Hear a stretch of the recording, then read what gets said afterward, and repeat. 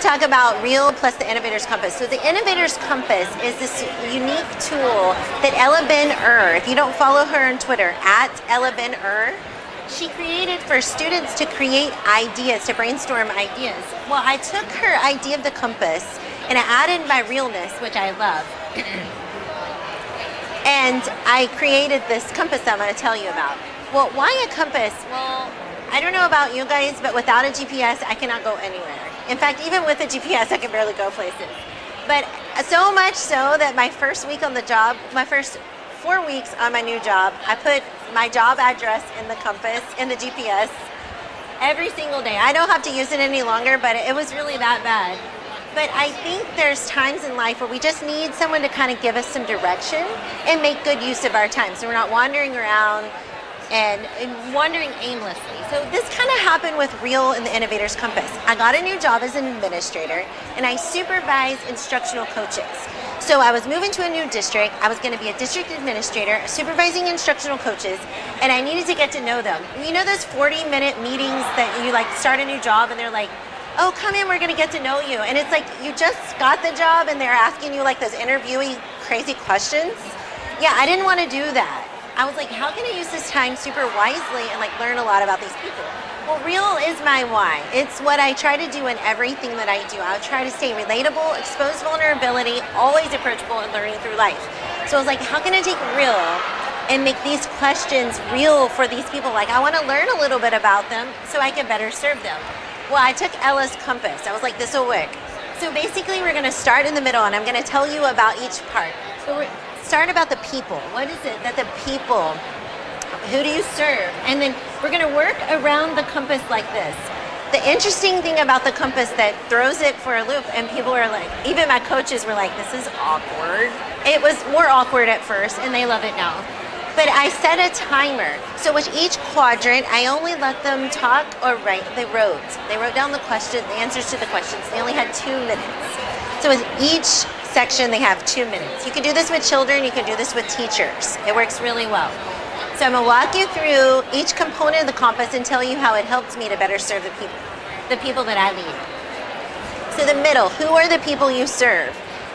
I would ask them this question, and then I would throw these two things in. This is the realness. Personally and professionally, who do you serve personally and professionally? They have two minutes and they wrote everything down on a sticky note and they wrote as much as they could in two minutes. And you say, why a timer? That's awkward. With the spontaneity of it, though, you have to draw things from your long term memory. You don't have time to analyze, be like, this is my new boss. I'm not going to tell her that. Like, you just. You just write it down. And then we just stuck the sticky notes right in the middle of the table. And we moved on to the next quadrant, which is the bottom left. What is your current reality? For me, I would start a brand new coaching program. This district's never had a coaching program, so all these coaches are brand new coaches. And their current reality was fear and frustration. That was professionally. But then they started talking about personal things. I was getting to know that like some of them had teenagers that were starting to drive. Some of them were just had a brand new baby. Like all of these things that were their current reality, I was learning it in these little two minute spurts. The next question, how do you know you just rock the day? Well, why would you ask a question like that? The reason I asked a question like that is I wanted to know what is it that they value? What is it when I'm serving you and Aldo, you're having a rough day? I know you're having a rough day because you just sent me an email. I'm coming out to your school and I know that you love Starbucks coffee. I'm bringing you a Starbucks coffee. That makes you feel like you rock the day. That's what I want to do for you. So this is a way that I started to learn things that they value. What is it that they love? They love their organization. They love this or that. And then the, na- the next question before I stop, I'm still doing the two minute pieces, is what are your big juicy dreams? What is that thing that you have yet to accomplish that you really want to. Short term, long term, it doesn't matter. Set it for two minutes, and I did personally and professionally. I added that to every single question. And this was legit. I mean, there were coaches that were wanting to adopt children, and they had never voiced that to anyone ever. But because they were on a timer and they had this sticky notes, they were just writing down really fast.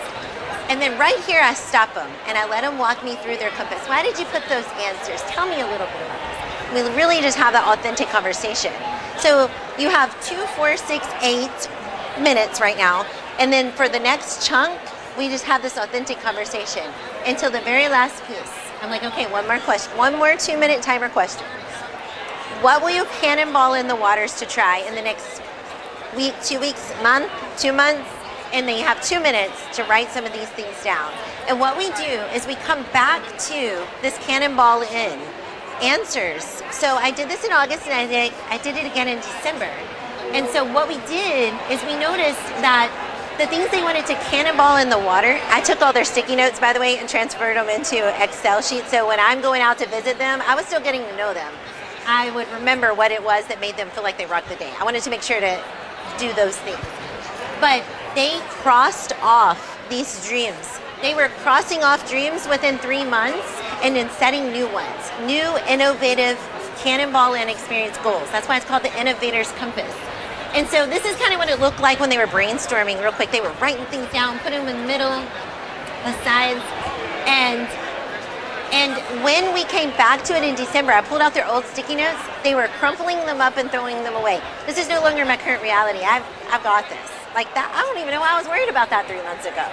So the innovator's compass is revolving. It's always, it's evolving. It's always changing and growing because innovators never stay still.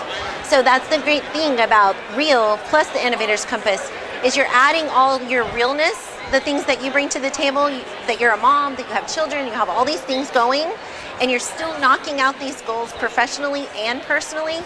And you have like this accountability partner, which just so happens to be your boss, or if you're a teacher, it just so happens to be your teacher with the students but it's a great way, this is a great relationship building tool. So these are some of the things that some of my coaches were saying about it. They were just like, this is so cool. I was finding myself thinking outside the box. At first, they thought it was super awkward to be timed, and they were like, can we just not do the timer? I'm like, well, I, I would love to not do the timer, but I don't have that much time. And plus, they won't write down the answers that you want them to write down if you have a, don't have a timer. So thank you so much for joining. If you try Innovators Compass, please do tweet me out at Tara Martin EDU. It's so much fun. And you learn a lot about the people that you serve in a short amount of time.